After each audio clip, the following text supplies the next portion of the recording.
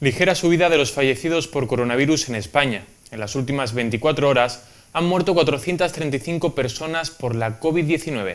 La cifra de contagiados supera los 208.000 y los pacientes que han recibido el alta desde el inicio de la pandemia roza los 86.000.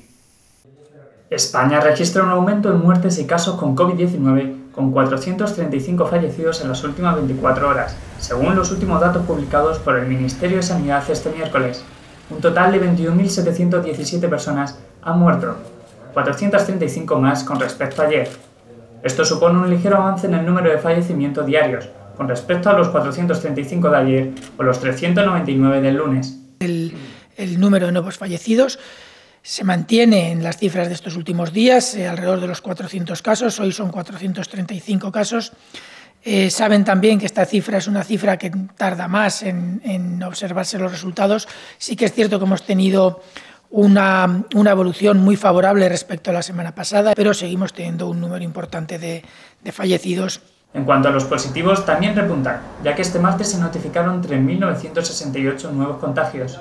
Eh, a día de hoy tenemos 4.211 nuevos casos, es un 2,1% de incremento respecto al día de ayer. Sí que es interesante, antes de continuar con el resto de los, de los datos, pararnos un momento con esta cifra, porque casi la mitad de estos